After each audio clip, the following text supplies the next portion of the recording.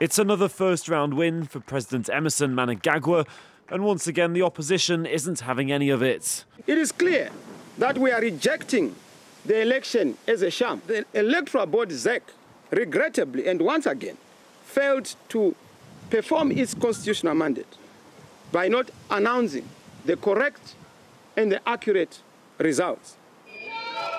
On Sunday, Zimbabwe's Electoral Commission announced a 52.6% victory for the president, well ahead of Nelson Chamisa, his main contender, who was given 44% of the votes. The accuracy of these figures is in doubt after international observers raised concerns over the banning of opposition rallies, biased state media coverage, and voter intimidation. But Mnangagwa dismisses these claims. There are no winners or losers but one united people of Zimbabwe.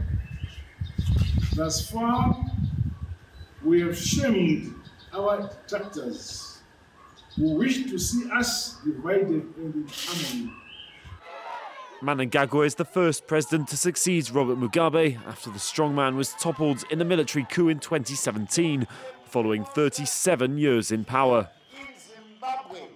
In the last elections in 2018, six people were killed by soldiers following delays in announcing the results. As of now, there's no sign of unrest in the country, where residents are desperate to see a curb to inflation and unemployment.